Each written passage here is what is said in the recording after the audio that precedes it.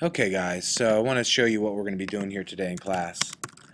You're going to want to go to my website, click on the first link, and this is going to be a lesson on types of terrorism. So what I did was I went ahead and did a blog.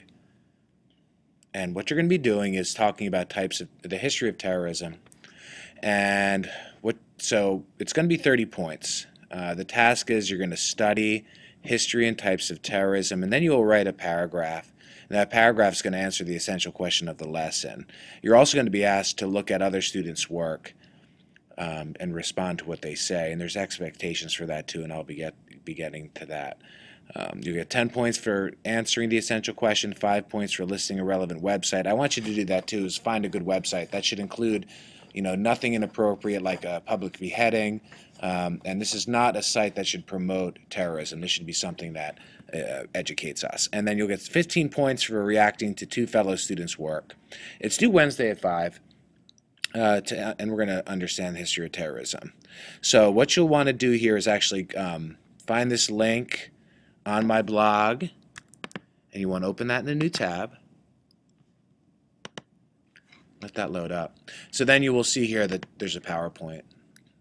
Let that come up, and you'll be able to view it and you will see everything that's in that. And you will do that by scrolling down. Some of this stuff is, you know, do nows over the years, but and you could ignore some of the um, note-taking information if it doesn't help you learn. But I want you to go through and view these things. And then with, with each of these types of terror, like terror by people against the government, terror by national groups, those are the different types of terror that I'm hoping you'll understand. I've tried to conceptualize this topic and break it down into different types of terror. So um, that'll be the educational stuff for you. Also in this link, if you close this, there are videos. And the videos will match with different types of terror. And if you need help, um, you know, with these videos and which ones match which type, please let me know. Email me or, or call me over in class. Um, so there's that. I've also put a soft copy of the book here if you want it um, to take a look. And again, this is all online. You can get this from anywhere. Going back to the blog, um, I said here there are different types of terrorism. These are the different types.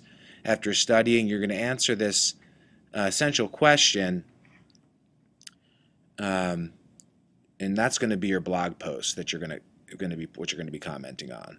Um, you're going to post your answer. And then I also said you need to post a website. Uh, no inappropriate sites, uh, nothing that's going to promote terrorism or promote violence. You have to find educational sites. And then number three, you're going to read other people's posts and react to two other posts. Okay? And what I did was I went ahead and I listed expectations for, you know, people may be wondering how much should I post.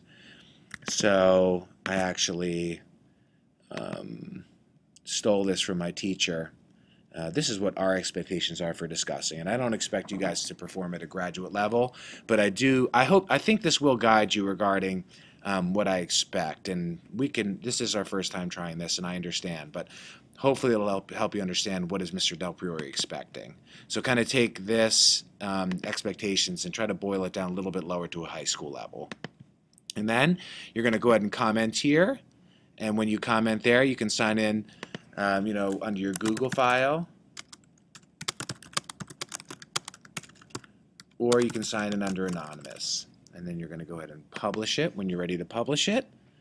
And then you have your comment here and you're done. Of course, yours is not going to just say hello. It'll have your paragraph, a website. And then you'll need to, once as people post, you'll need to go through and um, read what people say and react to what they say based on the blog expe expectations. So I hope you find this interesting and fun, and I hope you learn. And don't forget to contact me with any questions. Happy learning. Bye bye.